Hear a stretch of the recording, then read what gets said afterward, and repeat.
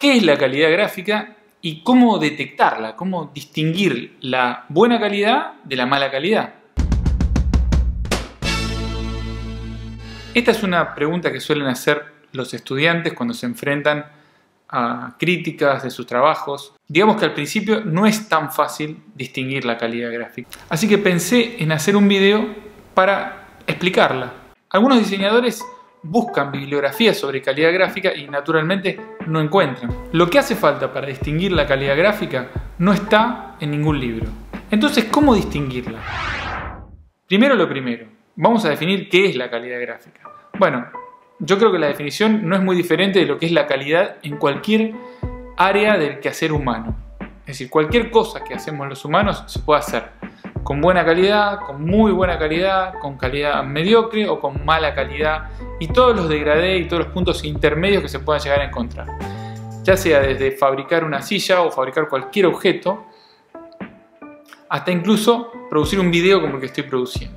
Sin duda hay videos de mejor calidad que este, pero bueno, hacemos lo que podemos. La calidad aparece en todos lados. Cualquier cosa que se haga se puede hacer con más o con menos calidad. Y la calidad gráfica justamente es la calidad de la resolución gráfica de cualquier producto gráfico. El nivel de calidad de la gráfica. Bueno, es bastante obvio.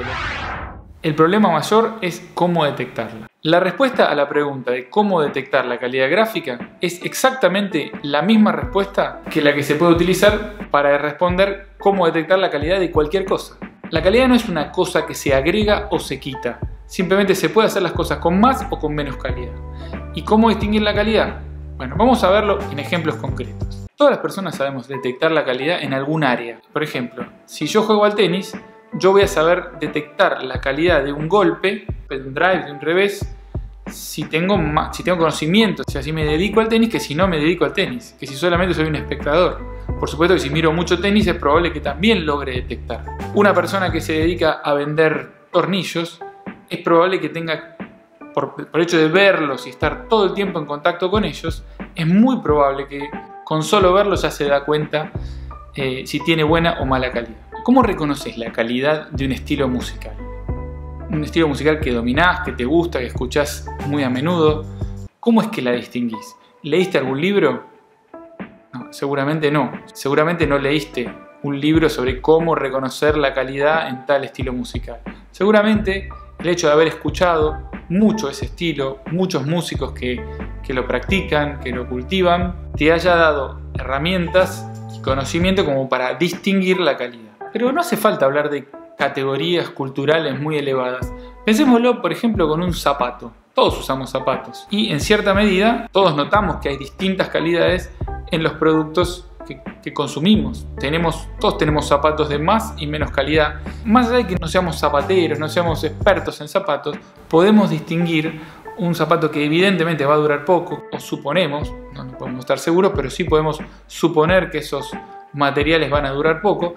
¿Cómo es que aprendimos a reconocer en alguna medida la calidad en los zapatos? Bueno, mirando los zapatos, probándose muchos zapatos, usando muchos zapatos a lo largo del tiempo, eh, viendo el resultado, el resultado que dieron, si funcionaron bien, si nos resultaron cómodos, si nos molestaban, si, se rompieron, si, el material se fue deteriorando, eh, cuánto duraron. Bueno, todo eso, hace a la calidad. Y lo más importante, comparándolos entre sí, notando las diferencias entre los zapatos de buena calidad y los de mala calidad los que resultaron buenos, los que son bonitos, los que tienen una cantidad de, características que los hacen mejores. Es decir, que la calidad es un problema cultural. Si uno cultiva el conocimiento y, el, y un tema determinado, es muy probable que termine eh, dominándolo y esa cultura es la que te permite distinguir la calidad. Y ahora, volviendo al mundo de la gráfica, la calidad gráfica es solamente uno de los aspectos a analizar en un producto gráfico. Un diseñador gráfico, por ejemplo, es una persona que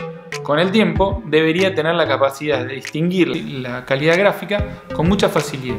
¿Quién sería si no el experto en calidad gráfica si no es el diseñador gráfico? Vamos a verlo en un ejemplo concreto. Aquí, por ejemplo, estamos comparando dos letras iguales en apariencia, pero que en realidad no son exactamente iguales. En realidad son dos versiones, una de buena calidad y otra de mala calidad, de la letra A de la tipografía Franklin Gothic. Como puede verse, son diferentes. Y si las analizamos más en detalle, vamos a ver que la letra de la derecha tiene como chichones. Estos errores son los que determinan la diferencia entre una letra bien dibujada y una mal dibujada. Aquí podemos ver dos párrafos. El de la izquierda tiene un espacio entre líneas que es adecuado, el de la derecha tiene un espacio demasiado ajustado. Esa decisión de juntar las letras ha producido un problema de calidad, porque como se puede ver, aquí hay superposiciones de letras que evidentemente quedan mal. Y eso que estamos trabajando con exactamente la misma tipografía, el mismo cuerpo, eh, todo exactamente igual, lo único que cambia es el interlineado. Esa operación de interlineado mal hecha es una operación que le resta calidad a esta composición.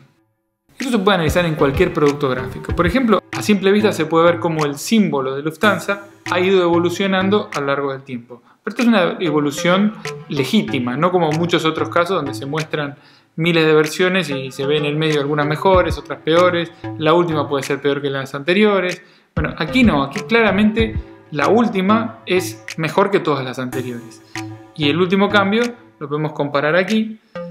Son pequeñas, muy sutiles las diferencias. A simple vista por ahí no se perciben, pero si lo superponemos aparecen las diferencias. Y aquí es donde se explican esos pequeños ajustes que se hicieron. Como puede verse, la comparación es la mejor forma de detectar la calidad. Y otro dato muy importante para detectar la calidad es escuchar o conocer lo que dicen los que, según nuestro criterio, entienden más que nosotros del tema. Cuanto más diseñamos, cuanto más comparamos, cuanto más eh, producimos en torno al diseño, cuanto más analizamos en torno al diseño, bueno, más vamos a saber. Cuanto más conozcamos las opiniones de otros que nos merezcan confianza, toda esa información nos va a permitir ir haciéndonos de una cultura gráfica que nos va a permitir detectar la calidad gráfica. Y es así de simple y así de complicado. no hay fórmulas, pero se puede, se puede aprender. Simplemente como en cualquier área de la cultura, del arte, de la producción, la única forma de saber sobre algo es cultivándolo.